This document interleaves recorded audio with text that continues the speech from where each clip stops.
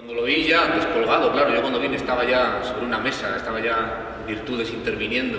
La verdad, fue un impacto, fue algo impresionante, eh, sin duda me pareció una aventura eh, pues de, de, las más agradables poder hacer un estudio histórico paralelo a esa intervención pues, más técnica, más de restauración, que acompañara de alguna manera en el contexto eh, y pudiera pues, llegar a la conclusión de no solamente eh, de las características estéticas, plásticas, sino también de autoría y sobre todo de la historia que rodea esta imagen, que no deja de ser una imagen y sobre todo una imagen de devoción religiosa y al mismo tiempo eh, pues contiene un valor artístico que es evidente, no tiene, no tiene uno más que ponerse delante de él realmente. Han sido cuatro meses de investigación exhaustiva, sistemática eh, y también casi que se siente uno como esos aventureros eh, que están iniciando una senda por terrenos inexplorados. Desgraciadamente, eh, este monasterio ha sufrido un expolio brutal eh, tras la famosa desamortización de Mendizábal en 1836 y la documentación que había en el archivo en gran parte desapareció. Eso lleva a que los libros de fábrica no estén, esos libros donde se apuntaba a quién se pagaba, a quién se encargaba hacer determinadas cuestiones, determinadas eh, obras muebles, pues han desaparecido. Tampoco es que sea algo muy extraño y excepcional. La mayoría de las, atribuciones de los artistas del siglo XV no tienen documento que lo, que lo diga, que lo, que lo certifique, que lo autorice. Se atribuye por pequeños detalles estilísticos normalmente no solamente a Gil de Siloe, que es un maestro que más o menos de repente aparece en Burgos en 1480, y que la mayoría de las obras atribuidas, a Gil de Siloe no existe esa constancia documental, simplemente están atribuidas por distintas cuestiones históricas que lo acompañan eh, realmente. Toda la historia de este Cristo se resume en los últimos cinco años del siglo XV, desde 1495 a 1500. Ahí, ahí está eh, un poco el meollo de la cuestión. Probablemente este Cristo llega aquí hacia 1497. En 1495 eh, esta magnífica iglesia de este convento de, la Orden de Predicadores de Santo Domingo que nos acoge hoy está ya rematada, prácticamente rematada. Tanto la nave central como las propias capillas eh, están ya con las cubiertas. Es un hecho muy claro que en 1497 se entierra al príncipe Juan, al hijo de los reyes católicos. Se entierra es porque ya se ha cubierto la iglesia, sin ninguna duda. Eso nos lleva a otro punto importante relativo a la presencia de este magnífico Cristo del maestro Gil de Siloé y de Diego de la Cruz. No hay que olvidarlo, eh, los policromadores eran a veces tan importantes como el propio tallista, el propio escultor.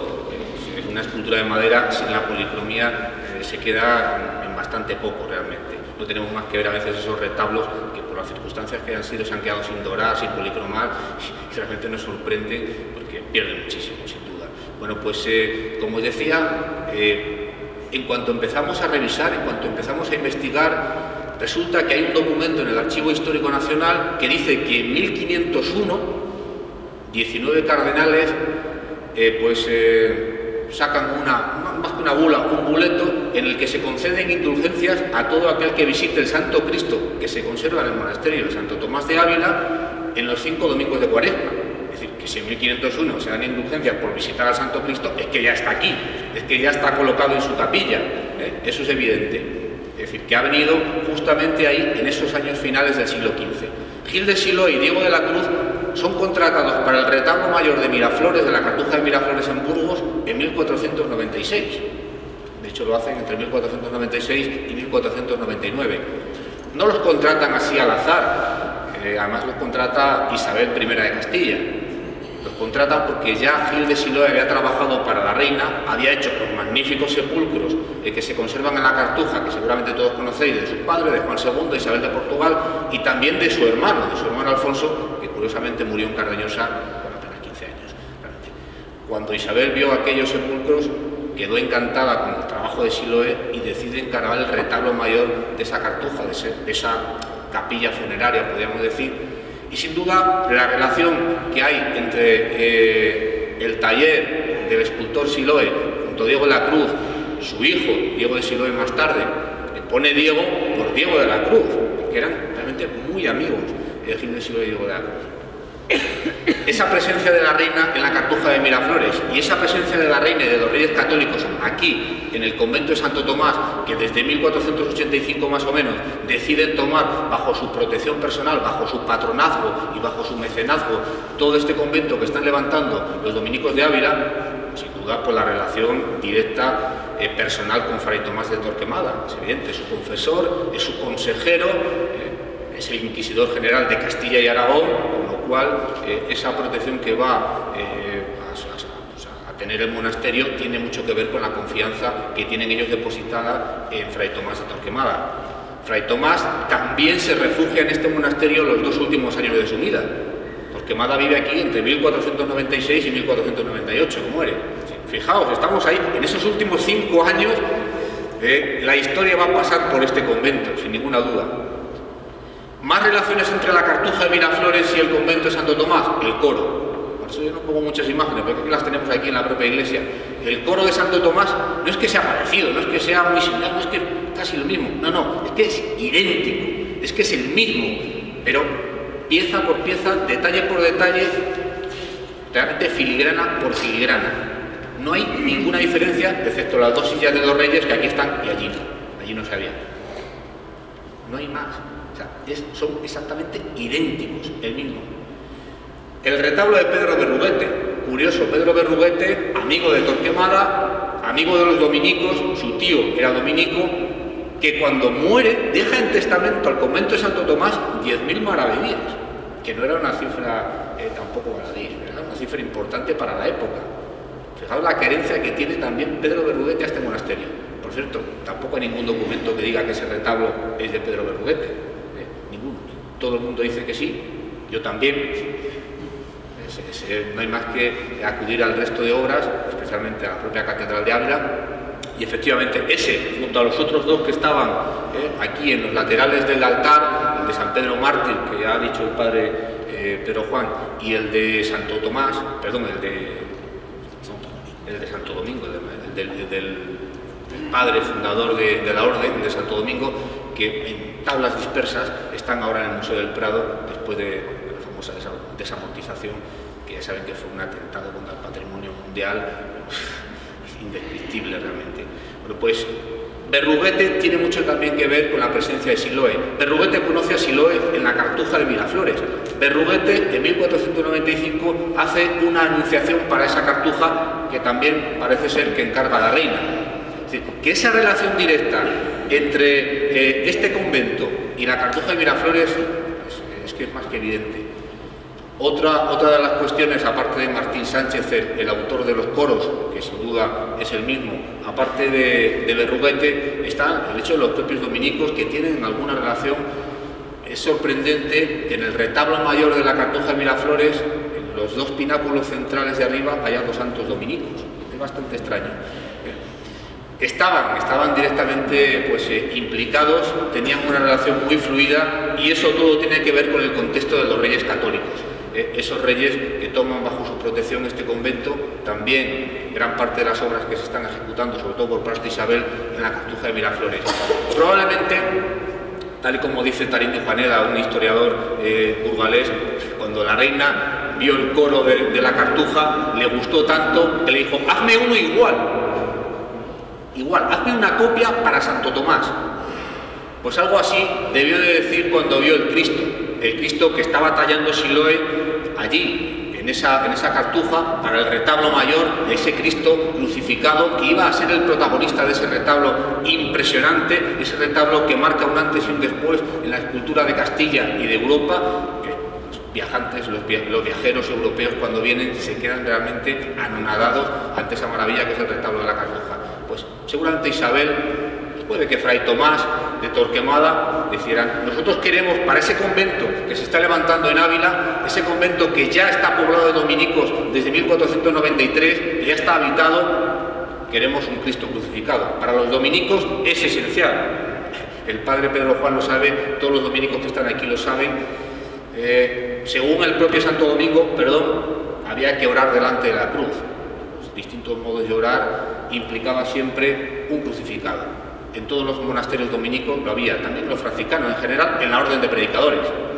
Estaban presentes, esa relación directa con la cruz. Eh, ¿Cómo no? Este monasterio bajo patrocinio real, eh, que estaba en plena ebullición, pues eh, tanto arquitectónica como del arte mueble, había que traer un crucificado y había que traer un buen crucificado, el mejor, el mejor maestro, Gil de Siloé, el mejor policromador, Diego de la Cruz, esa relación existía entre otros artistas de la época. Alejo de Bahía, muchas de las obras de Alejo de Bahía, que era un escultor también pues, de origen nórdico, como el propio Gil de Siloé, tenía como policromador nada más y nada menos que a Pedro Berruete.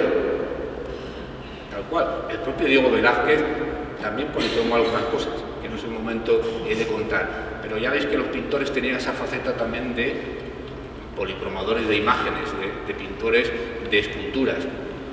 Sin duda tenían que ser buenos y Gil de Silo y Diego de la Cruz eran los mejores. Por eso la reina, Fray Tomás, los propios dominicos, que ya eran un poder en alza, pues deciden eh, encargar a Gil de Siloé esa, escultura, esa imagen de un Cristo en la cruz para ser venerado, eh, para tenerlo presente, para pues, eh, utilizarlo en la vida diaria, en la vida de oración diaria propia de la vida interna de un convento de dominicos, un convento de la orden de predicadores, sin ninguna duda. Los detalles, los detalles ya los ha explicado Virtudes. No es que, no, si, los análisis químicos y cronológicos coinciden, pues tampoco hay que dar muchas vueltas. Pero aún así, los pequeños detalles estéticos, estilísticos, eh, esos rostros prácticamente idénticos, parece no es que, no es que hiciera una copia, como decía Tarín de Juaneda, sino que yo creo que lo están tallando al mismo tiempo, que tienen una mesa un Cristo y en la otra tiene otro, y los va tallando a la vez. Y curioso, el Cristo de Santo Tomás y el Cristo de la Cartuja son los dos últimos Cristos que hace Gil de Siloe. De hecho, creo que este es el último, el último por la evolución plástica que se ve en su obra. ¿eh? Si aparece, si nos acordamos del Cristo de la capilla eh, de Santana, de la Catedral de Burgos, es un Cristo pues, mucho más expresivo, es un Cristo todavía herencia del mundo flamenco, del mundo del Bajo Rin, del mundo nórdico. Poco a poco, curiosamente, después de vivir en Burgos, la solemnidad castellana va calando en él y va haciendo Cristos eh, pues, mucho más solemnes, eh, mucho más serios, mucho más sobrios, mucho más austeros. Y este es su testamento artístico, el último Cristo. Bueno, ahí hay pequeños, no se ve muy bien, pero hay pequeños detalles. Fijaos, en los brazos, en la curva eh, del brazo que va hacia la cruz, el propio brazo, la, la policromía son exactamente idénticas.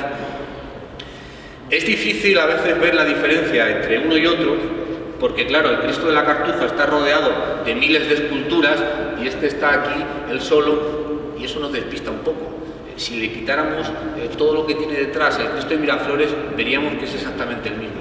El Cristo de Miraflores mira hacia abajo y este mira hacia arriba. Son pequeños detalles para individualizar de alguna manera los Cristos.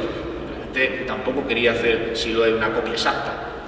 De hecho, decide añadir algunos detalles, como es también el detalle del paño pureza que ya había dicho Virtudes, eh, para cambiar un poco pues, la postura, para cambiar un poco la expresión y decir que son diferentes. Bueno, ese es el tema de los brocados eh, los brocados es un elemento muy importante porque el brocado era una decoración que solo las élites castellanas podían pagar. ¿eh? Solamente la gente importante.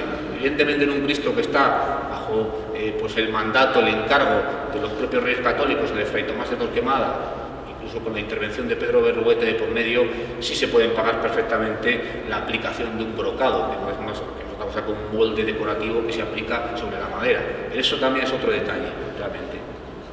Bueno, ahí tenéis las dos caras. No es eh, difícil diferenciarlos si, no supiéramos realmente quién es uno y quién es otro. Eh, eso, eso está claro.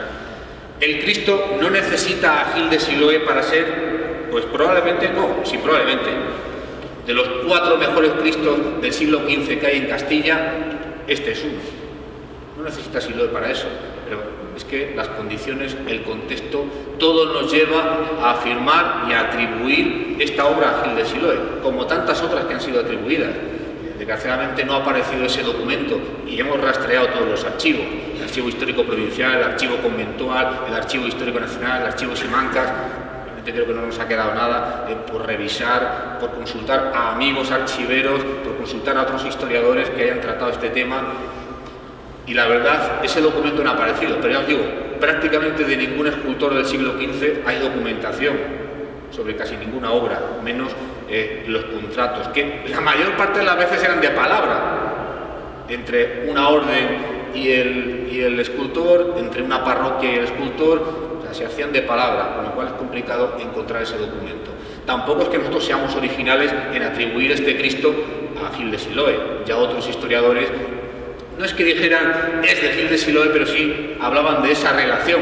Manuel Gómez Moreno, por ejemplo, el famoso historiador que hace el catálogo monumental de la provincia de Ávila, que era un hombre sabio y un hombre que tenía realmente una, visión analítica eh, pues de todo lo que veía. Él dice que esta obra está relacionada con los talleres burgaleses, con Gil de Siloe, con Diego de la Cruz, eh, e incluso dice lo han hecho los discípulos o con sus propias manos, tal cual, efectivamente, lo, hizo con sus propias manos, casi como os digo, en una mesa uno y en la otra tenía el otro. Hay otros historiadores, Ángela Franco, experta en escultura del gótico de finales del 15, también dice que este Cristo es del taller de Siloé, es, del círculo de Gil de Siloé, la mayoría, Ricardo Tormo, la propia Sonia Caballero, una historiadora de Ávila, que también ha tratado distintas ocasiones la escultura de este convento, pues atribuye tanto las esculturas de la portada como el propio Cristo al, círculo, al taller, a ese ambiente de escultura burgalés del que sin duda es dependiente este convento, pero además por esa relación que digo que tiene con la cartuja burgalesa. Y para rematar ya el valor que tiene en sí intrínseco este Cristo en cuanto a obra artística, vimos la vinculación teresiana sin duda, pues parece ser que Teresa cuando venía de la Encarnación en esas caminatas tremendas, imaginaos hasta aquí, andando, saltando un poco por berrocales, porque no estaba como ahora el convento, ni mucho menos, atravesando casi a veces hasta bosques impenetrables, pues al llegar aquí cansada, pues entraba en esta capilla, ante esta imagen impresionante, realmente magnífica, pues eh, seguramente oraba, ya sabéis que según la tradición hablaba con él, el Cristo le hablaba a ella, se confesaba con los distintos padres dominicos que, pues, eh, siendo esos intelectuales que eran de esta magnífica universidad que poseía eh, el convento, universidad que funda Isabel la Católica, para que veáis también eh, cómo esa vinculación de los reyes con el convento es continua. Tienen a su hijo enterrado aquí, los donativos, pues en fin, van a ser cuantiosos, sin duda. Bueno, pues decía que cuando Teresa venía aquí, pues se confesaba con ellos, no solo se confesaba, les pedía consejo, eh, esa, reforma que ya estaba iniciando la van a apoyar los dominicos. Ya sabéis que el Consejo de Ávila en un momento determinado quiso derribar San José, el monasterio que se estaba construyendo. Fue el padre Báñez el que la defendió a capa y espada. Igual que defendieron en Roma, incluso frente a los jesuitas, pues la reforma de la Orden del Carmelo. La protección, eh, digamos, la amistad dominica, eso que decían a veces dicen los dominicos que Teresa, de Jesús era una dominica en pasiones, dominica, pues efectivamente esa relación existía. Eh, Teresa visitaba el convento, dice ella también en el libro de su vida, y este convento tiene, perdón, este Cristo tiene ese valor añadido. De hecho, fijaos si fue importante Teresa que en cuanto se canoniza en 1622, casi de inmediato le levantan un altar en esta misma capilla, aquí. Según dice eh, pues algunos manuscritos del propio monasterio, sobre la piedra que ella descansaba y se confesaba, esa piedra se usa como piedra de altar, se levanta como altar. Y se manda, también se encarga pintar un cuadro que, como dice Pedro Juan, milagrosamente ha aparecido en el monasterio de Caleruega, en Burgos, no sé si milagrosamente o por las pesquisas de detectives de Pedro Juan del Padre, porque realmente también está muy interesado en todo esto. El caso es que ha aparecido en unas condiciones lamentables, eh, prácticamente no se veía nada, poco a poco Virtudes y Luismi le están sacando eh, pues todo lo que conservaba, todo lo que contenía ese lienzo en el que prácticamente no se veía nada, el lienzo que es la policromía se caía casi con mirarlo, pues ahí en ese lienzo se representa la famosa escena de la imposición por parte de San José y de la Virgen a Teresa de una especie de, capa blanca y de un collar eh, pues, de oro con una cruz.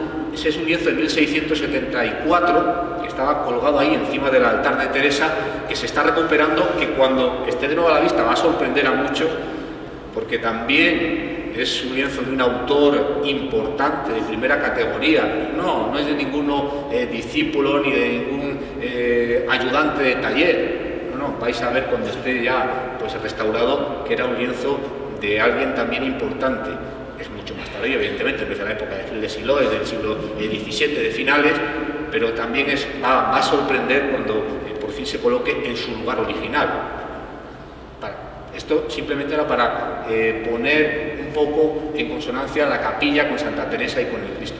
desde 1662 hubo un altar dedicado a Santa Teresa que compartía en esta capilla con el Santo Cristo, este eh, que nosotros, sin ninguna duda, y por un poco por lo que os voy a contar, estoy resumiendo eh, pues una labor de varios meses que consta en un estudio de más de 50 páginas, en el que sin duda pues, mucho más eh, sesudamente y rigurosamente se explica el por qué este Cristo es obra de Gil de Siloé y de Diego de la Cruz. Muchas gracias y nada, agradecer a los dominicos representados por el padre Pedro Juan, pues esta valentía de meter esta restauración, esta y otras que están haciendo, otras que están en mente y por acogernos aquí siempre que hemos venido pues eh, tan amable y discretamente. Muchísimas gracias.